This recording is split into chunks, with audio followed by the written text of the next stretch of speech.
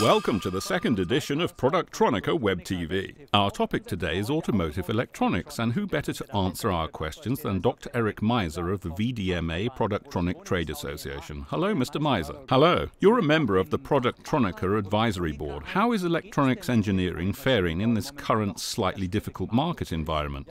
Pretty good. We predicted 3% growth for 2013 and for 2014 over 8%. The driving forces in the field are automotive and industrial electronics. And the innovative strength continues unabated with the manufacturers. Is this impression correct? Yes, innovation in production is the core business of the German engineering and electronics production. There is a nice challenging environment as we see here at Productronica. I would be pleased to show you that. Where shall we start? With SPEA, I'd say. Very well.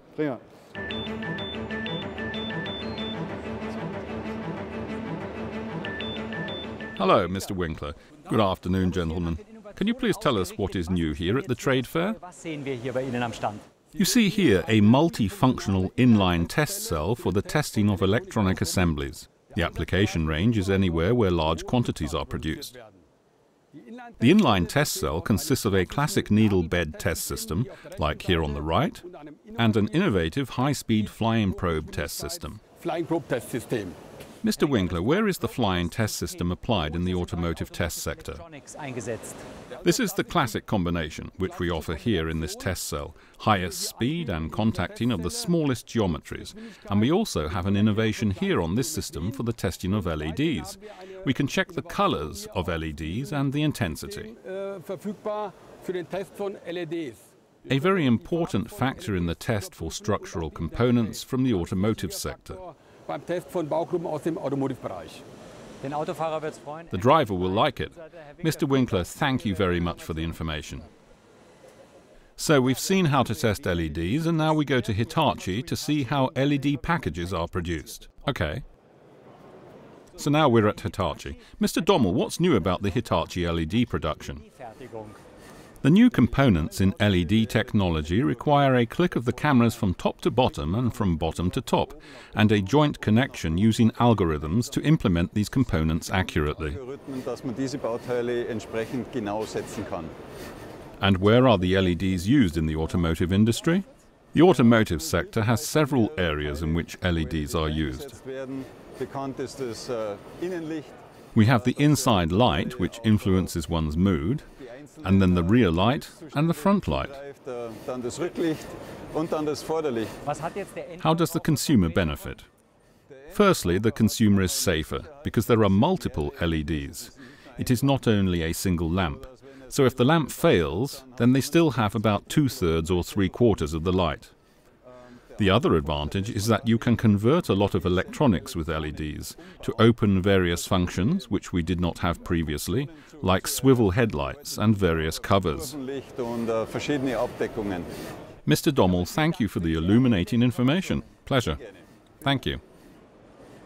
The VDMA has organized a special show on the subject of automotive electronics for Productronica. Slogan of the show is Electronics as Competitive Differentiator. What's that exactly? Each car has four wheels and a steering wheel, but you have to come up with something more to win over a customer.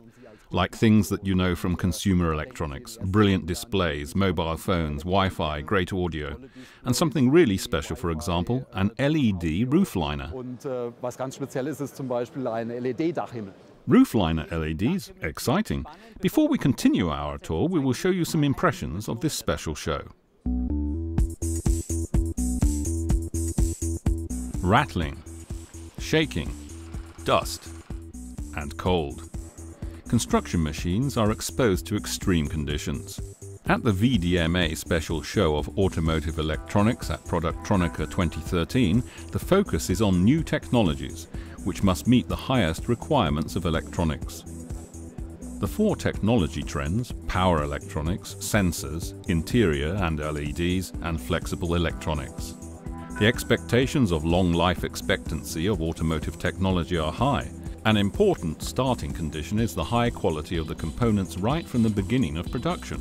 The stencil printer from the company DEK Printing Machines Company should provide that. The stencil printer is the first process in electronics manufacturing and one of the most important. That also greatly determines the yield, the quality of the electronics production. So it's very important that one checks the materials here in the printing process, to check the process precisely. And these are the most important scenes which we will show you here with the printing system. Wire bonding is widely used in semiconductor technology. Wire bonds are in all cell phones or USB sticks. For bonding electric motors, the giant bonder from F&K Delvotec uses much stronger wires, which can carry currents of up to 200 amperes. The bonding of electrical motors offers great potential. First and foremost, the major advantage of this procedure for electric vehicles is that the connections we can produce from battery cell to battery cell are extremely reliable. There are also other procedures such as laser welding, soldering, brazing and screws. All these procedures are either much more expensive or not as reliable or even both. It is functional, stylish and easy to use. Flexible electronics changes the interiors of cars of the future. The great advantages of the touch panel in the car, it replaces the classic switches and buttons with a touch slide in which all functions are integrated. New design possibilities and low production costs are another plus of this innovative technology. The excavators of the future also offer new design possibilities. Powerful LED lights or a coloured LED sky in the driver's cab. Stretchable electronics or intelligent power electronics. The VDMA special show at Productronica shows how the electronics of tomorrow provides differentiation possibilities. Our tour is slowly coming to an end. Mr. Maiser, do you have another highlight for us? Yes, we definitely must take a look at Rofin. Rofin, the laser manufacturer? Yes, exactly. Lasers are universal tools and are of course perfect for electronics production. We should look at that. Hello, Mr. Geiger. Hello. What sort of device is that? This is a special ultra-short pulse laser for the manufacture of ultra-small precision components. Can we see that? With the help of lasers, complex shapes can be machined quickly and virtually free of power. The procedure is distortion low and makes reworking redundant. The result? Ultra-fine cuts with high precision. Which components of automotive electronics can you still produce with this laser? For the new trend of electric mobility, we cut with the laser battery films, which are afterwards inserted into the housing and then welded with the laser. As a further example, I can show you an injector, with which we cut the most ultra-fine holes with the smallest diameters in the component. Fascination with precision at Productronica. Thank you, Mr. Geiger. Pleasure.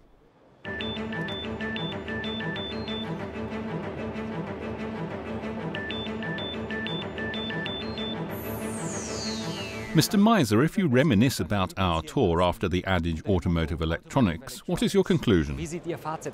We've seen that automotive electronics is an exciting topic, but it is not only important for the electronics production to produce at low cost, but also sustainably. This means that the machine builders have to get economics and ecology in harmony. Is this true all over the world? Yes, absolutely.